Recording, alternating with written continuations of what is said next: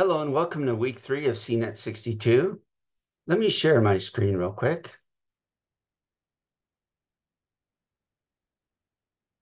All right, so here, here's week three on Canvas. And you can see again the discussion, which your initial response is due by Wednesday, and then your two peer responses are due by Sunday. There's also homework three. There's some videos here that I've made to help you get through some of the labs if you get stuck on them. Sometimes there's just like a little click here or click there that you, you can't see very easily. So I made these videos to help you with that. And then of course you have all the video, the labs that are due this week. Um, and notice the, the things that have points on them are in the grade book. And then everything else is just there for your information. So for example, the um, if you click on one of these links, it'll go to the TestOut site. And this is the textbook textbook side of TestOut.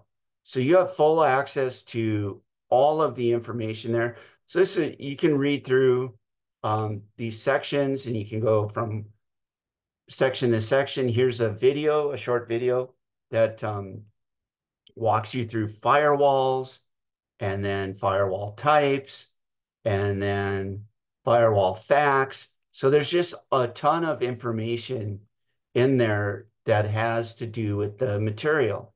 So that's like your textbook. That's where you can go read about all this stuff before you um, tackle the homework and the lab. So this week we're we're in chapter six and chapter seven. So um, you can get a good look at that. All right.